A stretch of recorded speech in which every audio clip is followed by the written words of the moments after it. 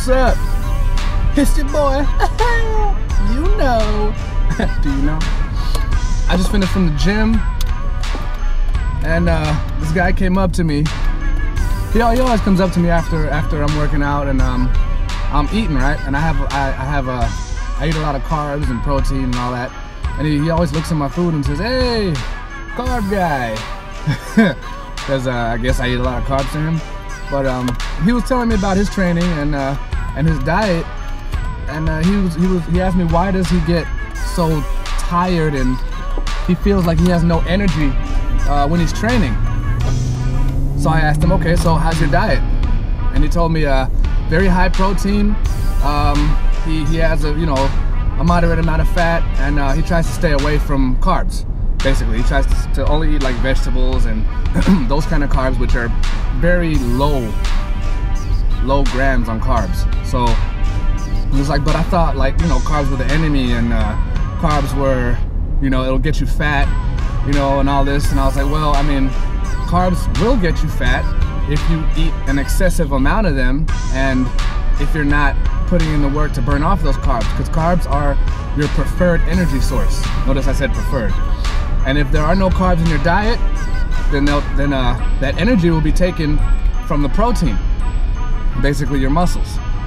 Because I don't I don't eat a lot of protein, a lot. I'm saying like I don't eat a lot of protein when I'm trying to build muscle, because it's it's really not necessary. The carbs are what what fuels your workout, and the protein rebuilds and repairs the muscle. So I told I was explaining to him that um, if you're on a very low carb diet, your energy is going to be taken from that protein and that protein's not gonna do what it's supposed to do, which is rebuild and repair your muscles.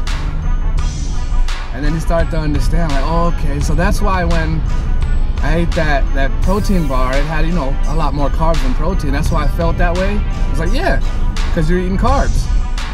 You need those carbs to fuel your workout. If you're not getting enough, you're gonna feel tired, you're gonna feel drained, and it's gonna take away from that protein that you're eating and the protein's not going to be able to do what it's meant to do which is repair and rebuild because it's using all that protein for your energy because you're not eating enough carbs i need to be in a caloric surplus so i you know i take that from my carbs and my fat. My carbs will be higher because that fuels my workout and i need to have all the energy i can for my workouts because you know i go hard. You don't know. You don't know. Do you know? Um, so I could have I could have played the numbers game and gave him uh, set specific numbers of what he should uh, what he should do, what he should eat, and um, how much protein, how much fat, you know, basic macro, how much how much you need. But honestly, everyone's different. Everyone has a different macro setting and what works for their body. And the same with me. I'm playing with my numbers right now. I'm trying to gain strength and build a nice physique at the same time. So I'm not trying to gain a, an excessive amount of fat. So I have to be in a surplus, but I'm, I'm trying not to be in an excessive surplus. Only in like a 50 to 100 calorie surplus. So I'm playing with my calories right now. But if I feel like I have, you know, too much protein or I can I can increase my carbs, if I feel tired or, or, or drained in a workout, I'll increase my carbs and take away some of the protein because I don't need a lot of protein to build muscle. But on the flip side, let's say I'm not utilizing all of my carbs, I'm still working out hard, I don't feel drained, but I'm just gaining, you know, unwanted fat, then I'll up my protein and take that away from the carbs. That way my calories stay exactly the same, still in the surplus, but I'll be getting less carbs so I can utilize every single carb that I get without gaining that extra fat weight. So in conclusion, carbs are not the enemy, they're your energy. And if you don't have that energy, it's gonna it's gonna be taken away from the next best thing, which is the muscle, the protein. It's gonna be taken away, and you're wondering why you're not getting gains when you're on such a low carb diet is because you're on a low carb diet.